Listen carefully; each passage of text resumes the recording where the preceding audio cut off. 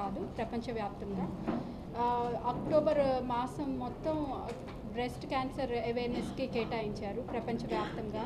ఇది చాలా పెద్ద సమస్య కాబట్టే అవేర్నెస్ తేవాలని ప్రతి October oncology units all over the world uh, they they strive to bring awareness for about breast cancer.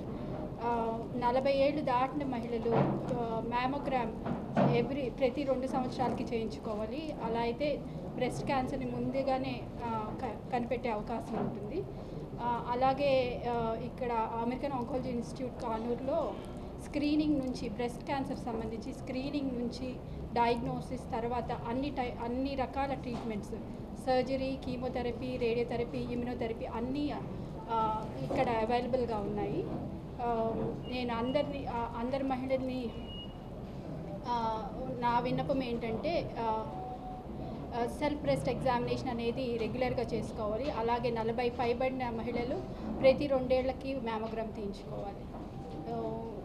Breast cancer ట్రీట్మెంట్లో గత రెండు శతాబ్దాలుగా చాలా మార్పులు వచ్చాయి. ఇప్- ఇప్పుడు స్టేజ్ స్టేజ్ వన్ టూకి చాలా క్యూర్ రేట్స్ పెరిగాయి. అలాగే స్టేజ్ ఫోర్లో కూడా సరైన ట్రీట్మెంట్ తీసుకుంటే ఎన్నో సంవత్సరాలు బతకగలుగుతున్నారు. సో ఉన్న ట్రీట్మెంట్ని అవైలబుల్ ట్రీట్మెంట్స్ని ఉపయోగించుకోవాలి.